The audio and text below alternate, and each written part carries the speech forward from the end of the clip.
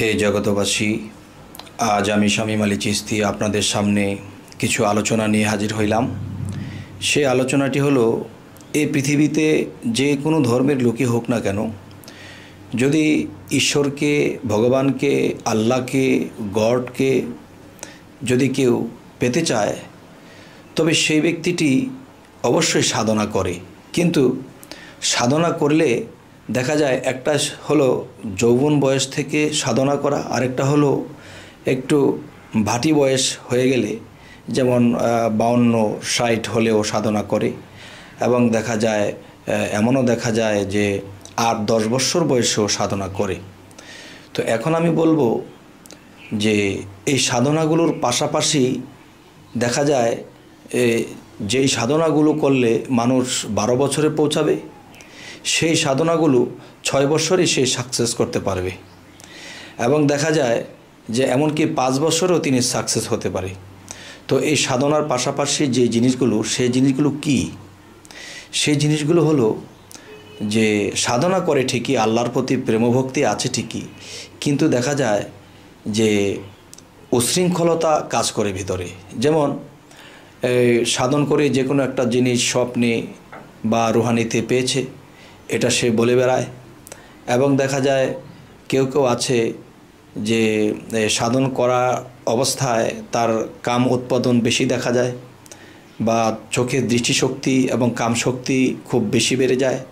তখন সেই দৃষ্টিশক্তিতে বা কোনো ওরকম নারী বা সুন্দরী রূপসী কিংবা কোনো খারাপ দিকে যখন নজর করে, তখন নিজের সেই যৌবনকে আটকে ধরে রাখতে পারে না। তখন দেখা যায় যে, সাধনা করে ঠিকই কিন্তু এর মধ্যে এই জিনিসগুলো ঘটতে থাকে। আর এই জিনিসগুলি ঘটবে কেননা যে আমার মধ্যে সে অষ্টফণী, যে সাপ আমার মধ্যে শুয়ে আছে পেঁচিয়ে, সেই সাপটার মধ্যে যখন খোঁচা লাগে তখন তো সেই সাপ নফস নামের সাপ তো ফোসফোস করে উঠবে, ফানা ধরবেই। কিন্তু আমি ওখান থেকে বিরত থাকতে হবে।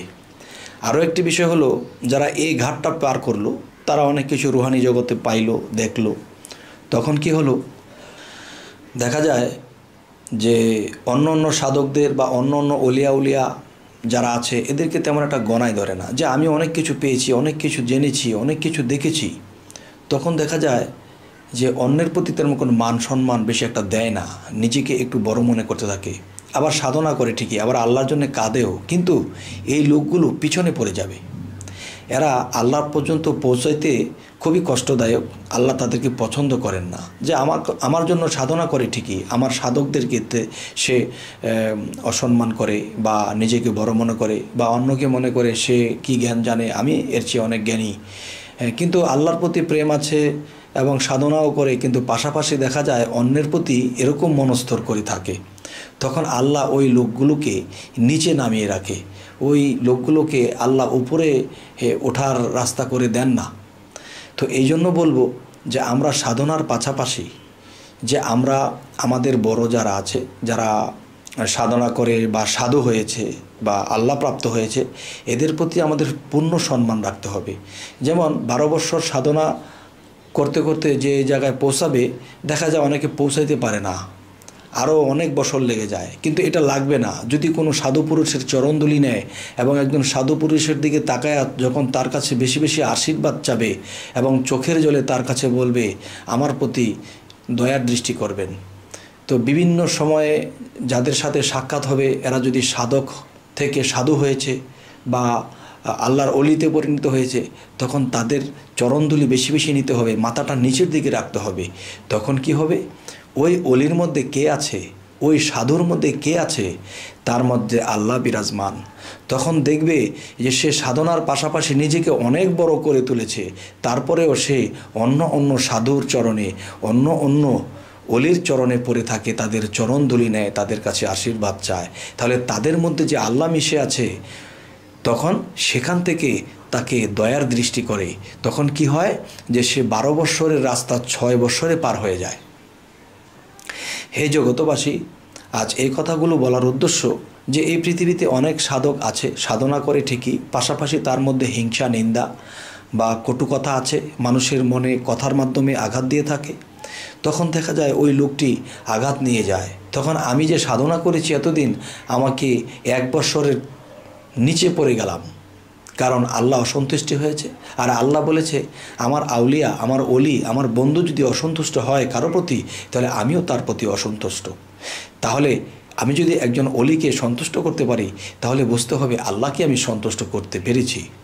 তো হে জগতবাসী এই কথাগুলো বলার আজকে এইটাই কারণ যে মানুষ যখন সাধনা করে তখন সে নিজেকে অনেক কিছু ভাবতে শুরু করে, নিজেকে বড় মনে করতে শুরু করে। তখনই সেই মানুষটা পাতালের দিকে যাইতে শুরু করে। তখন দেখা যায় তার উপরের ওঠার মতো পথ থাকে না।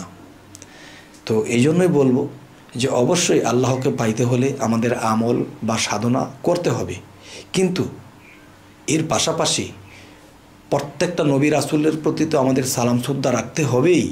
এবং পৃথিবীতে যারা অলিয়া উলিয়া আছে, তাদের চরণ ধুলি আমরা নেব। আর তখনই ভাববো যে এই অলির চরণ ধুলি মানি আমি রাসুলের চরণ ধুলি নিলাম। আর রাসুলের চরণ ধুলি নিলাম না, আমি আল্লাহর চরণ ধুলি নিলাম। হে জগতবাসী তাহলে এভাবে যদি কেউ ছয়টা মাস চলে, ছয়টা মাস আমার এই কথাগুলো পরীক্ষা করে দেখে, তাহলে তিনি দেখবে যে তিনি কত উচ্চস্তরে উঠে গেছে। হে জগতবাসী আমি স্বামী মালি চিস্তি এই বিষয়গুলো এ কারণেই বললাম যে আমি বহু জায়গাতে গিয়েছি, বহু দরবারে অ্যাটেন্ড করেছি। কিন্তু দেখা যায়, যে যতটুকু স্তরে না পৌঁছাইছে, তার চেয়ে বড় স্তরে নিজেকে মনে করছে। আর তখন তারা একসময় দেখা যায়, আল্লাহর অলিত হবে দূরের কথা, তারা পথভ্রষ্ট হয়ে যায়। তো আজ এই কথাগুলো বলেই রাখছি। সকলেই ভালো থাকবেন। আল্লাহ হাফিজ।